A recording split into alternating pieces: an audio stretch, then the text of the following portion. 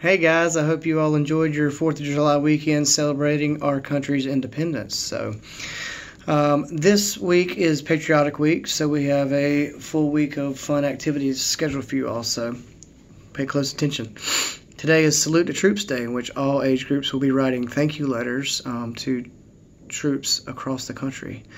Tomorrow is Stars and Stripes Day, in which groups will compete to see which group can have the most kids dress up wearing stars and stripes. Winners will get prizes. Thursday will be Red, White, and Blue Day, which will be the same thing, but groups will compete to see who can wear the most red, white, and blue.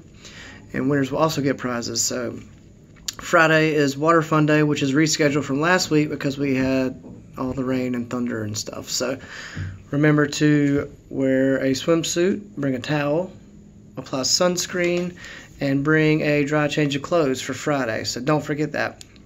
Factory Church will always be also be here on Friday with ice cream truck. So that'll be fun.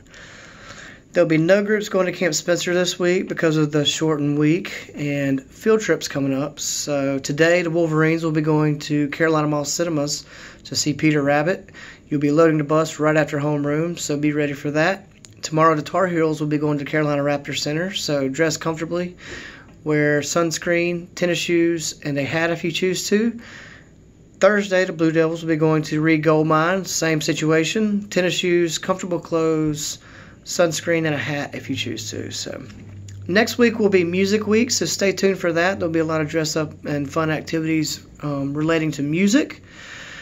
Have a great week, guys, and remember to keep social distancing. You guys are doing a great job. Six feet apart, masks on.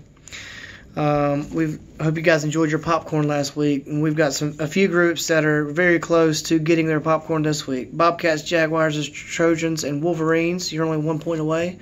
There are some other groups that are very close to 10 points in which they'll be able to switch a switch. So keep up the good work. Have a great week. Um, I'll see you in the hallways and in the classrooms. And thank you.